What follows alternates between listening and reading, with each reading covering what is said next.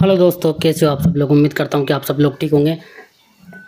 और दोस्तों, आज का वीडियो यूट्यूब का सबसे वेटिंग वाला वीडियो है, क्योंकि कई लोग बहुत सालों से इस वीडियो को ढूंढ रहे होंगे, क्या U T L gamma plus one K V A बारह volt zero point five H P के वाटर पंप को चला पाता या नहीं चला पाता है? तो दोस्तों, आज के वीडियो में मैं बिल्कुल लाइव प्रैक्टिकल आपको दिखाने वाला हूँ और दोस्तों, मैंने काफ़ी टाइम से माइक्रोटेक के इन्वर्टर पर यूज़ किया। देखिए मेन प्रॉब्लम क्या रहती है, वो भी मैं आपको समझा देता हूँ।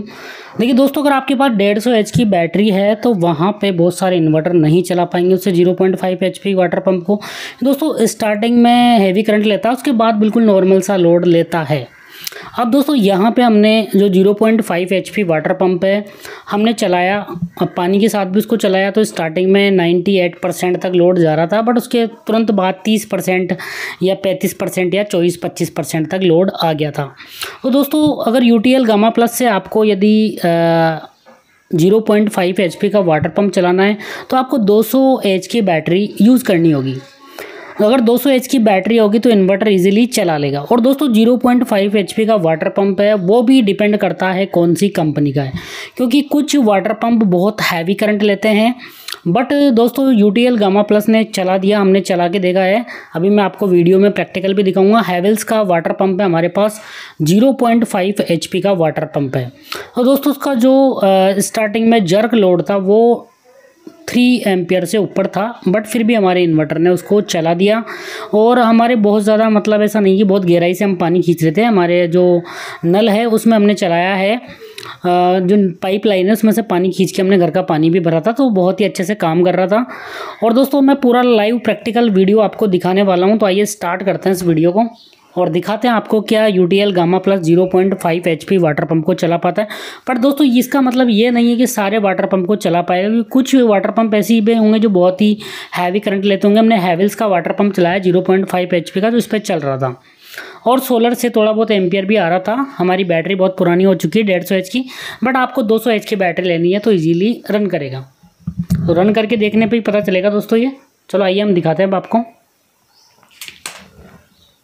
दोस्तों, जैसा कि आप देख पा रहे होंगे, जो ज़ीरो पॉइंट फाइव एच का वाटर पंप है, हमारे पास ये पंप है, जो कि हैवेल्स कंपनी का है। जैसा कि मैं आपको दिखा पा रहा हूँ, दोस्तों, इसका जो मैक्सिमम करंट है, वो थ्री पॉइंट टू एम्पियर है। देखिए थ्री पॉइंट टू एम्पियर तो जो रेटेड करंट है, हमारी मोटर का स्टार्टिंग करंट है, वो थ्री पॉइंट दो एम्पियर है, जो कि U T L gamma plus इस मोटर को चला पा रहा है। ये मैक्सिमम करंट है, जो मोटर ले सकती है थ्री पॉइंट टू एम्पियर और जो हमारा इन्वर्टर है, वो टू पॉइंट नाइन एम्पियर तक का लोड चला सकता है। तो यहाँ पे दोस्तों सारे पैरामीटर मैंने आपको दिखा दिए हैं। हैवेल्स का वाटर पंप है ये। देखिए यहाँ पे। तो दोस्तों, इस वाटर पंप को हम चला के देखने वाले हैं। तो वाटर पंप बहुत ही इजीली हमने रन करके देखा है दोस्तों इसको। पानी के साथ भी रन करके देखा है और बिना पानी के साथ भी रन करके देखा है। बहुत ही इजीली ये रन कर रहा था। काफ़ी अच्छे से काम कर रहा था। तो इसको अब हम रन करने वाले हैं। अभी दोस्तों इन्वर्टर पे ही ये पंप कनेक्ट है। तो इसको हम रन कर लेते हैं एक बार, फिर चलते हैं हम इन्वर्टर की स्क्रीन पर, जहाँ पर हम देखेंगे कितना परसेंट लोड चल रहा है। और दोस्तों यहाँ पे इस वाटर पंप को अब हम कनेक्शन कर देते हैं इन्वर्टर से। इसके बाद देखते हैं कि ये जो हमारा इन्वर्टर है इस ज़ीरो पॉइंट फाइव एच के वाटर पंप को चला पाता है या नहीं चला पाता है? तो आपको दिखाते हैं दोस्तों, और हैवेल्स कंपनी का वाटर पंप है, जैसा कि आप देख पा रहे तो दोस्तों यहाँ पर मैं ऑन कर देता हूँ, इसको एक बार मैंने स्विच पर लगा दिया है। अब मैं इसको ऑन करने वाला हूँ। देखिए, बहुत ईजीली रन हो जाएगा। तो जैसा कि दोस्तों आप देख पा रहे देखिए पंप हमारा आराम से चल रहा है। अब हम चलते हैं इन्वर्टर की स्क्रीन पर। तो यहाँ पे देखिए इन्वर्टर की स्क्रीन पर मैं आपको दिखा देता हूँ। कितना परसेंट अभी लोड चल रहा है। जैसा कि आप देख पा रहे होंगे दोस्तों, यहाँ पे एक बार मैं इसको सेट कर लेता हूँ परसेंटेज लोड पे।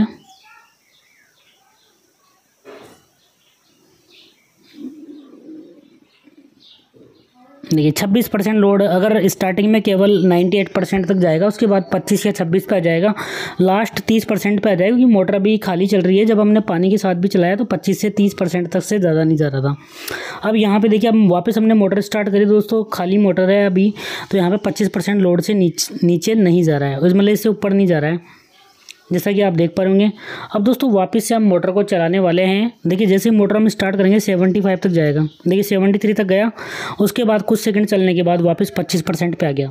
और दोस्तों, यदि हमने जो हमारी पाइप लाइन है, उसमें भी हमने लगा के देखा तो 98 परसेंट लोड तक गया था। उसके बाद 25-26 परसेंट पर आराम से चल रहा था।